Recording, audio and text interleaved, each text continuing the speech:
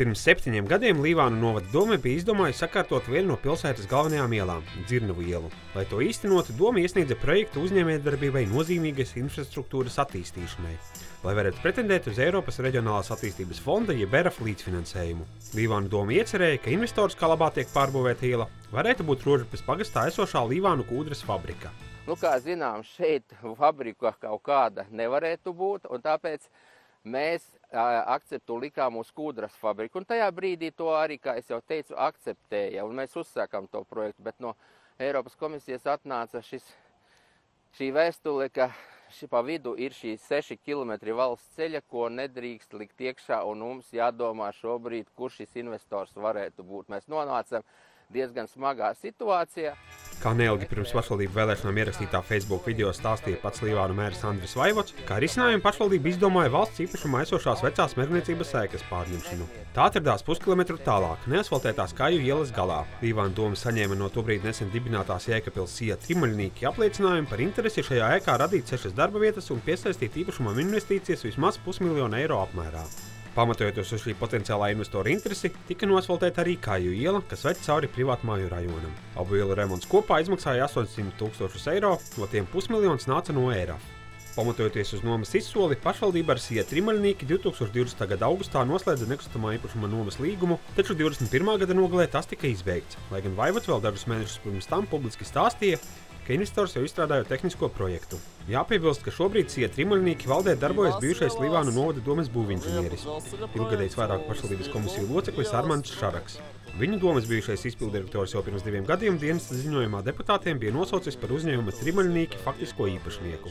Tā arī nav atradies neviens cits investors, kas gribētu uz 30 gadiem nomāt īpašumu, lai pussagrošajās ēkās un ar grunts kalniem piedzītajā pļavā Dubnas upes krastā ierīkotu kādu turismu vai atpūtas objektu piemēram, viesunamu vai spā kompleksu. Pirms mēneša Līvānu domas sēdē atzina kārtējo nomas izsoli par nenotikušu. Gribētāju maksāt gandrīz 200 eiro mēnesī par kāju ielas galā esošo īpašumu nebija arī augustā. Ja nomnieku neatradīs noteiktā laikā, līdz nākamā gada beigām, ieguldītā fonda nauda būs jāatmaksā. Līvānu mērs gan cerības nezaudē, tostarp arī uz iespēju pagarināt termiņu nomnieku atrašanai. Tāpēc arī pateikt, ka būs jāatmaksā, nu arī nevar pateikt. Bet Varu pateikt to, ka 6-7 gadi jau šobrīd īstenībā beztermiņa kredīts ir paņemts, un, un šis, šis lielas tiek lietotas, un izmaksas ir trīsreiz mazākas kā uz to brīdi. Jūs pareikiniet, tie, kas ekonomisti, izpratīsiet, ko tas nozīmē šajā gadījumā.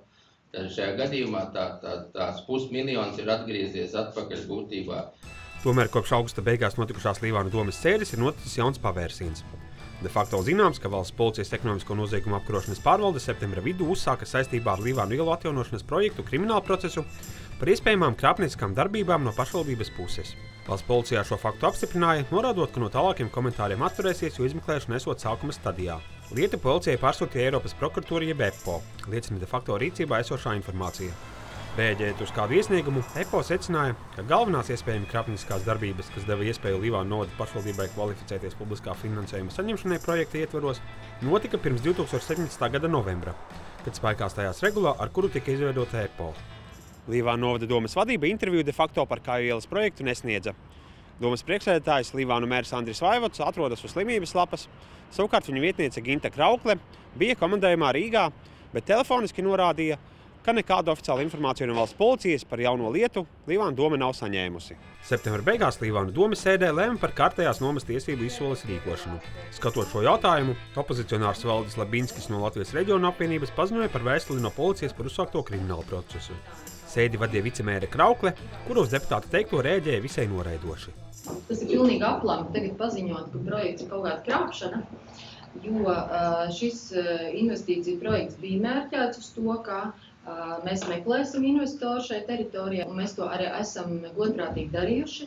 Arī šodienas domas sēdes lēmums ir pierādījums tam un apliecinājums. Un tas, ka izsoles notiek atkārtoti, tas nav nekas tāds, par ko būtu jāšausminās. Šausmīgi būtu tad, ja mēs nemeklētu investoru šai teritorijai. Līvāna novada pašvaldībai šī ir jau otrā krimināllieta saistībā ar ERF projektiem un tieši ar uzņēmējdarbības veicināšanas infrastruktūru. Tāds projekts ir uzsākts industriālajā zonā Celtniecības ielā. Viens angārs ir uzbūvēts, bet blakus iecerētās vēl lielākā sēklas būvniecība ir apstājusies. Tas tāpēc, ka pirms gada Līvāna domē un arī mēra Vaivada mājās notika kratīšanas krimināla procesā saistībā ar šī industriālā parka projektu. Aizdomas ir par 1,8 miljonu izkrāpšanu. Vaivadam šajā procesā ir tiesības uz aizstāvību. De facto zināms, ka šajā lietā, līdzīgi kā nesen plaši izskanējušajā gadījumā Valmierā, aizdomas ir par to, ka projekts patiesībā ir bijis mērķorientēts. Eiropas fondu žargonā tas nozīmē to, ka projekts ir bijis iecerēts vienam vai dažiem konkrētiem uzņēmumiem. Šādiem projektiem ERF līdzfinansējums paredzēts mazākā apmērā nekā jebkuram potenciālam investoram brīvi pieejamos objektos.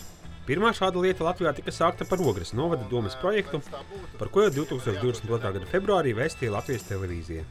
Pārogres industriālajā parkā Akmeņu ielā bijušajā degradētajā teritorijā blakus uzņēmuma Hansa Matrix ražotnē tika uzbūvēta elektronisko sistēmu ražošanas ēka. Šai projektā paredzētais RF līdzfinansējums ir 4,7 miljoni eiro. Ar Ogres novada domu līgumu noslēgušais nomnieks Sija Quality Jobs ir apņēmies izveidot 120 darba vietas un ieguldīt 1 miljonu eiro nefinanšu investīcijās, proti nodrošināt ražošanai nepieciešamo aprīkojumu. Quality Jobs nepārprotami ir cieši saistīts ar tieši kaimiņos esošo Hanza Matrix. Piemēram, tā vienīgā īpašniece un valdes loceklis Santa Toča vēl pēc uzņēmuma dibināšanas kā grāmatvede turpināja iesniegt Hanza Matrix koncerna firmu gada pārskatus un izmantot e-pastu ar Hanza Matrix domēnu.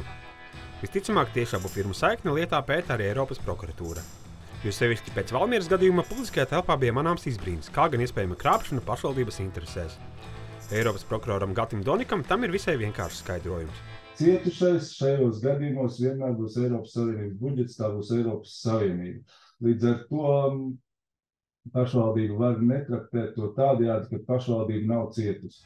Eiropas fonda projektu ieviešanu uzrauga un kontrolē Centrālā finanšu un līguma aģentūra, kas apstiprina. Šobrīd no pašvaldībām jūtama liela interese par to, kā pareizi īstenot komercdarbības atbalstu caur infrastruktūras projektiem. Viedoklim, ka pašvaldības neko daudz neriskē, pat ja neizdodas sasniegt projekta mērķus, proti, investīciju apjomu vai jaunās darba vietas, jo nauda jau tāpat tikus ieguldīta labās lietās, CFLA direktora vietniece īsti nepiekrīt. Tas būtu katrā konkrētā situācijā jāvērtē, jo, ja tas būtu, piemēram, nelikumīgs valsts atbalsts, tādā gadījumā pašvaldība atgūtu, mēs no pašvaldības atgūtu naudu ar procentiem. Savukārt, ja tas būtu vienkārši neizdevies projekts, tad mēs, protams, vērtētu situāciju un nu, pašvaldībai būtu jāatmaksā visa šī projekta summa. Bet, bet, bet, ja tur būtu pazīmes par to, ka tā ir kaut kāda apzināta rīcība ar vēlmi faktiski nerealizēt projektu, bet iegūt naudu, nu, tas noteikti būtu jautājums, kas tad ir jāskatās tiesību sargiem. Mēs to nevarētu konstatēt. Arī Eiropas prokuratūras prokurors aicina pašvaldības piesakot projektus būt prātīgām. Piemēram, kritiski vērtēt formālus apliecinājumus par interesi no uzņēmumiem, kuri acīm redzami nebūs spējīgi investēt vajadzīgās summas vai radīt darba vietas. Praksē saskatāmas arī citas problēmas, norāda Doniks. Mēs arī redzam un, un jūtam šo tādu pieeju, nu, vieglprātīgu attieksmi, at, attīstot nopietnus projektus, nopietnus tautsājumniecības projektus, nopietnus projektus, kas, kas var skart pat, pat, pat valstu drošības mūsu patreizajā ģeopolitiskajā situācijā, kad šī attieksme tomēr ir, ir diezgan nenopietna.